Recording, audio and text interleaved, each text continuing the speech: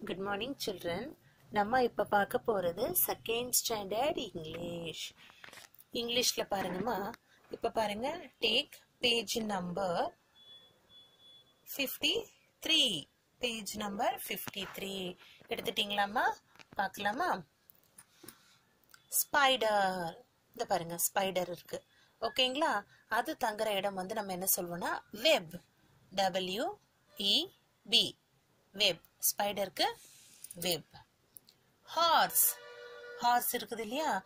அது வசிக்கும் இடம் பேர் வந்து stable S T A B L E stable cow cow வசிக்கிற இடம் பேர் வந்து shed S H E D shed next one duck D U C K duck அது வந்து தண்ணியில தான் இருக்கும். பாண்டு குளம் எல்லாம் சொல்லுவோம் இல்லையா?